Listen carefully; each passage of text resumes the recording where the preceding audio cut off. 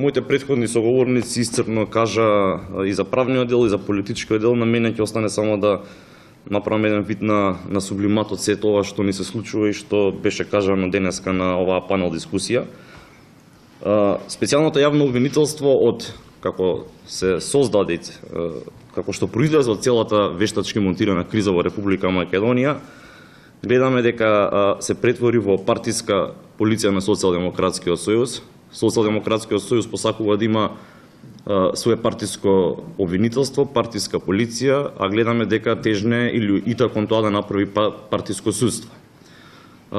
Судството не било под толку силен притисок од како сме ние создадени како држава, мислам колку што е во последниве денови бидејќи гледаме при електронско избирање на судиите кои ги добиваат случаите како веднаш тие се оцрнувани од страна на Социјалдемократскиот сојуз и некои нивни одредени експерти кои произлегуваат од невладиниот сектор, судии кои воопшто немаат никакви а, а, никакви флеки на дамки на, на нивната работа, веднаш се оцрнувани и се отвара сомнеш дали ќе судат соодветно. Тоа е всушност притисокот кој се врши врз нив однапред, уште пред да започне самиот процес.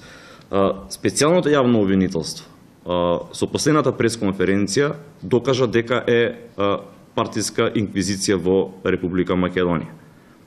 Потребно е секој неистомисленик на Социјалдемократскиот сојуз да биде дисциплиниран, преку монтирани случаи да биде обвинет, истиот доколку е можно да биде затворен. Но пред се целта е тој да биде оцрнет за понатаму да не може да делува политички во државата нели и сред јавноста. Целта на специјалното јавно обвинителство и на целата оваа криза всушност е да се урне политичката партија ВМРО ДПМН, да се оцрни незиното раководство и да се оцрни лидерот на политичката партија ВМРО ДПМН, бидејќи тој лидер и ова раководство на ВМРО ДПМН е единствениот кој до сега има направено толкова обединување наречеме условно во десницата во Република Македонија, во политичката десница, но и помеѓу самите граѓани, раководство и лидер кој добил немногу гласови до сега на едни парламентарни избори.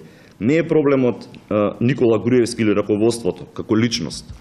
Проблемот е што овие луѓе поставија ВМРО ДПМН како браник, како последен беден на националните интереси на Република Македонија.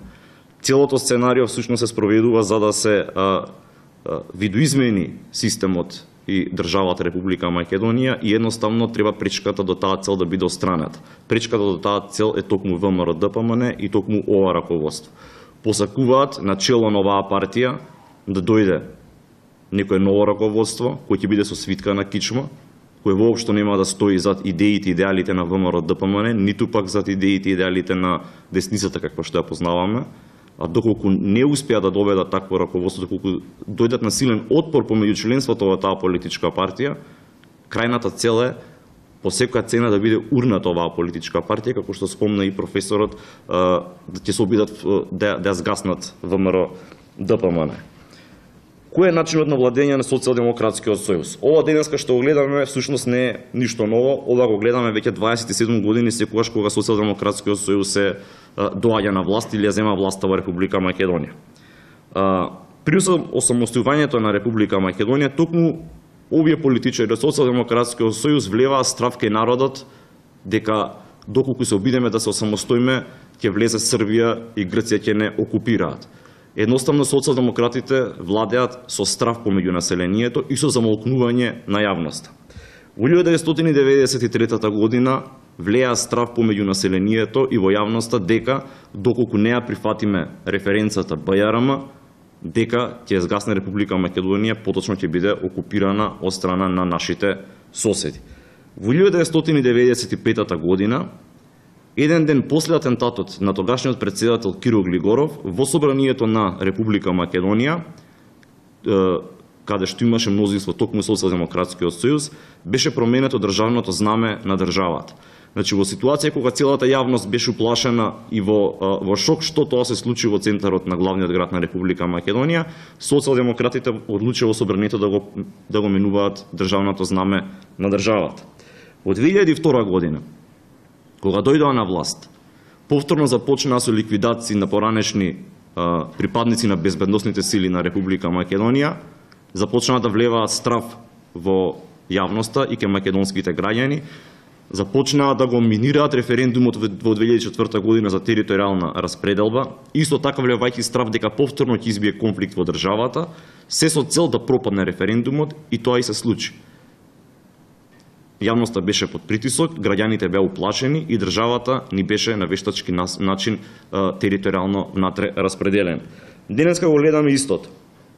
Денеска судира по ВМРО ДПМН, Тоа е удар врз плурализмот во Република Македонија, бидејќи таа е најголемата политичка партија во Република Македонија. Многу е страшно што и загрижувачки што се удира по медиумите.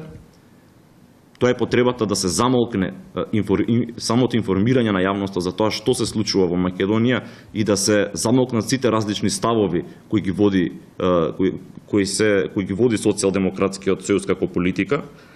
А потребата за да се замолкне и да се заплаши народот е токму политиката која деновиве последниве две недели всушност Заев сака да ја спроведе, а ние најавуваше уште во кампањата. Тоа е дека сите се во право, само Македонија и македонците се виновни.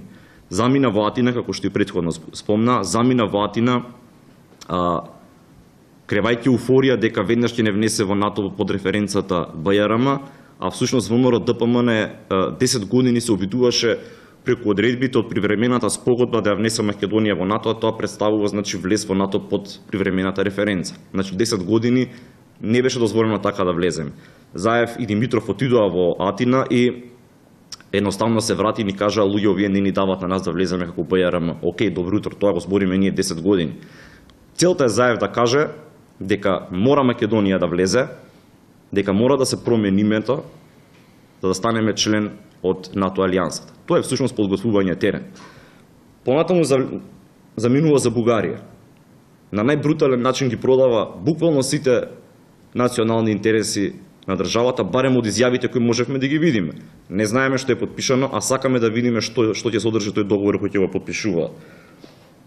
На крајот создава турбулентни односи со северниот сосед со Србија и на крајот да не ја заборавиме која претходно беше многу спомнувана, а во последно време некако е трната на страна, а тоа е тоа е тиранската платформа која беше ветено дека ќе се спроведе во Република Македонија, која всушност представува редефинирање на државата.